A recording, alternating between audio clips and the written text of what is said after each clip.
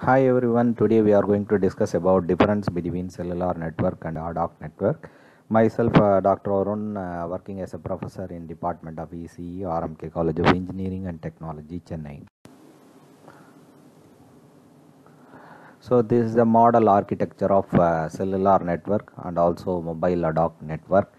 So here uh, the cellular network we are representing as uh, fixed infrastructure network. Ad hoc network we are representing as infrastructure less network. So why means in your uh, cellular network the we have uh, base station, uh, mobile switching center and server to establish a call between one user to another user and for call maintenance and call costing and all we have a centralized system in this uh, cellular network but in your mobile ad hoc network there is no centralized architecture is available or centralized facility is available in this mobile ad hoc network.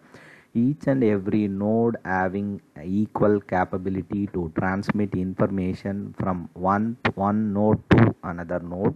For example in this particular source node want to transmit the information to this particular destination node through multiple hops what that means uh, this particular laptop will transmit information to this particular smartphone then laptop then this uh, smartphone then finally it reaches to this particular smartphone. So this is called multiple or multiple hop architecture but in your cellular network single hop ar- architecture. At the same time this uh, mobile ad hoc uh, network we are representing as heterogeneous network because this network consists of uh, different kinds of devices like laptop smartphone tab. Everything together can communicate between one device to another device. This is the overall uh, difference between cellular network and uh, mobile ad hoc network. First point representing infrastructure uh, in cellular network fix, fixed infrastructure ad hoc network uh, infrastructure less network routing wise centralized all the traffic goes through the base station. Uh, in ad hoc network distributed no centralized syst- system such as base station uh, needed. Uh, switching type circuit switching in cellular network packet switching in ad hoc network. Uh, number of hops uh, to reach a source to destination single hop in cellular network uh, multiple hop in ad hoc network topology wise star topology in cellular and mesh topology in ad hoc network. Applications uh, designed and developed for commercial voice communication in cellular network. In ad hoc network specifically the application domain includes battlefield emergency search and rescue operations and collaborative computing. Based on the call drop a cellular network uh, call drop is less and ad hoc network call drop is more during mobility based on uh, network uh, maintenance uh, cellular network uh, required periodic maintenance and hence it is costly.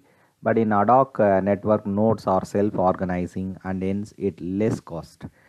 Based on frequency reuse uh, it utilize same frequency channels in the nearby channel nearby cells with proper RF planning and antenna placement. This is known as static frequency reuse but in ad hoc network dynamic frequency reuse is employed with carrier sense mechanism.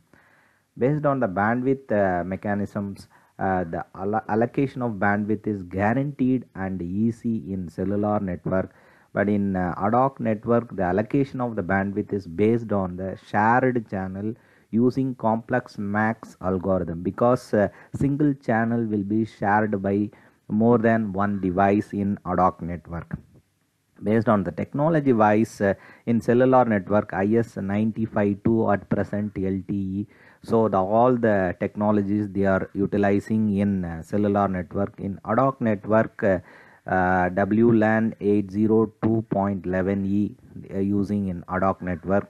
Cost and uh, time for installation high cost and takes more time for deployment in cellular network. But in ad hoc network low cost and does not take more time for deployment. Because uh, in cellular network we need a standard architecture or backbone architecture. The installation of base station and msc and all requires more time. But in your ad hoc network each and every mobile will act as a node and also host. So they it, uh, the deployment is very easy in ad hoc network time synchronization easy to achieve time synchronization in cellular network. Time synchronization is difficult and consume uh, bandwidth in ad hoc network. Host requirement uh, the mobile host are relatively low complex because uh, we have a base station mobile switching center uh, to establish a call between one mobile to another mobile but in your ad hoc network such facilities are not available. That's why the mobile host are more complex and also demands intelligence uh, should have a transceiver as well as routing and switching capability. Based on the deployment uh, wide deployment and currently in uh, 5g evolution but in ad hoc network several issues are to be addressed for the successful commercial deployment. Even though widespread use exists in the defense. Thank you for watching this video. Kindly comment for this video. Thank you